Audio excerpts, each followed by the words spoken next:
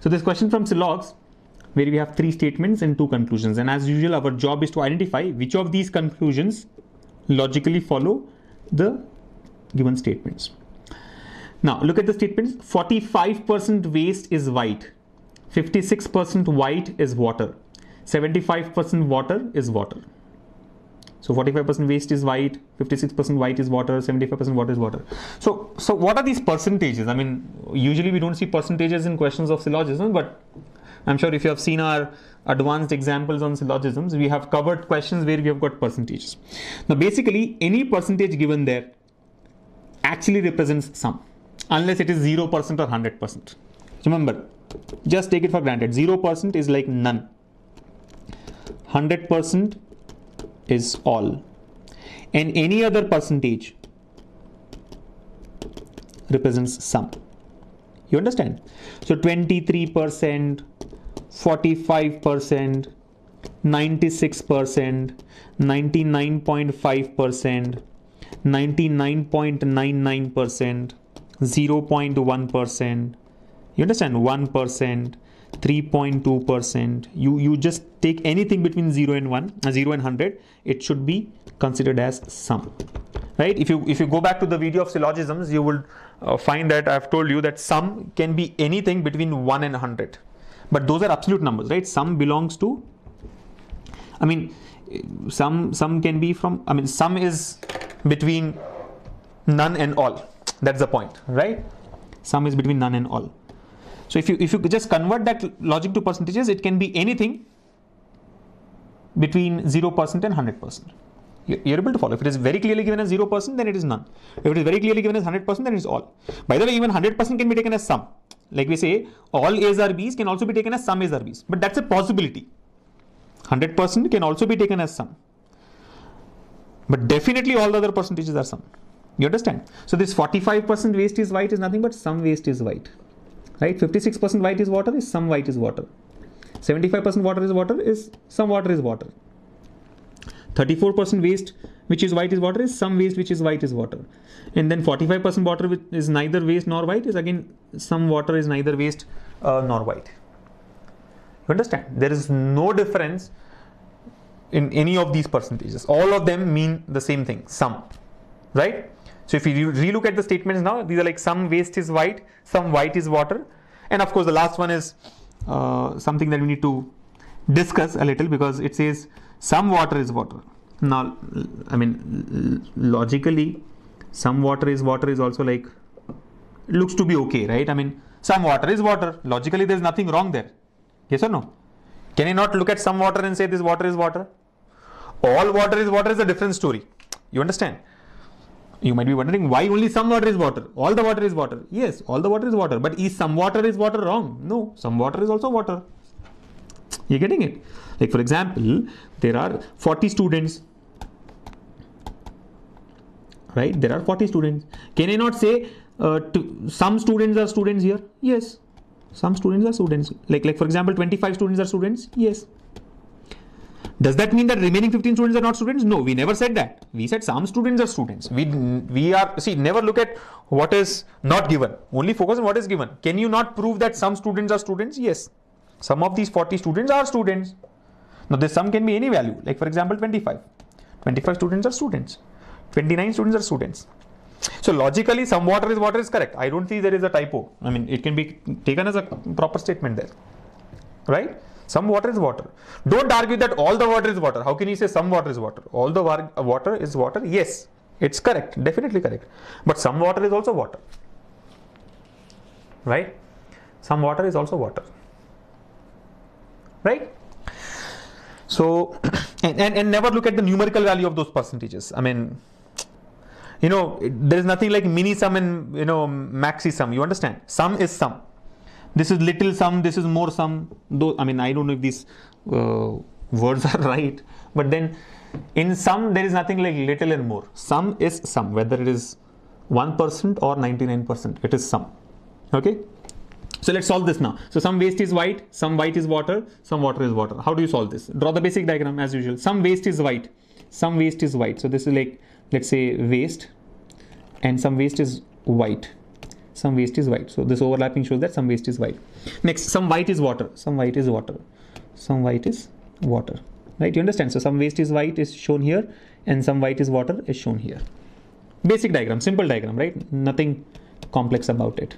The last statement says some water is water. Yes, some water is water. I mean, if I have to if I have to explain that to you, we can choose we can choose some water here and say yes water this water is water this water is water. You understand? That yellow shading here some, some water is water yes.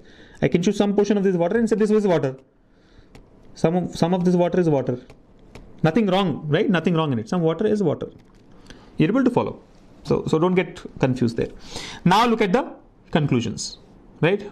What's the first conclusion? Some waste which is white some waste which is white is water. Some waste which is white is water. Now if i have to highlight which is that uh, let, let me use a highlighter and you know make it easier for you to follow. Right? We are referring to this this conclusion. Some waste which is white is water. I, I think i'll do one thing. Just a second. Let me highlight only one part of it right? Some waste which is white. This green colored highlight here. Some waste which is white. And let me highlight the same thing here I mean, I've got this technique in one of our earlier sessions accidentally when I was trying to do something. Sorry. I think I'll have to redraw that circle for white. So what I'm trying to say here is, look at this highlighted portion. I'm highlighting this common region between waste and white. So if you reread the conclusion here, some waste which is white, we have highlighted that as green. So let's read it as green. Some waste which is white. Some waste which is white has been highlighted as green here. You understand? Waste and white overlapping. Some waste which is white is green. So green is water. Green. Don't read some waste which is white. Green is water. Green is water. Look at the diagram now. Is green water? No. Green and water do not overlap at all. So this particular conclusion does not satisfy the basic diagram. And if a conclusion does not satisfy the basic diagram, it is false. It does not follow. So conclusion one does not follow, right? A conclusion that does not satisfy the basic diagram, it doesn't follow. You're getting it? Some waste which is white is water. Which waste which is white is water? No. Some waste which is white is this green shaded region. And not even one part of it is water. No part of this is water. You're getting it? So some waste which is white is water is wrong. It is false. It does not follow the basic diagram. Look at the second conclusion. Some water is neither waste nor white some water is neither waste nor white. Now, if you look at the basic diagram, it looks like correct. Some water which is neither waste nor white. So if you look at this water, I mean, I can take some portion of water. I can say this water or this water is neither waste nor white. Yes or no? See this water, whatever I'm highlighting now, right? This water, this blue thing that I'm uh, shading here, this is that water which is neither waste nor white. So that way, second conclusion satisfies the basic diagram. Some water is neither waste nor white.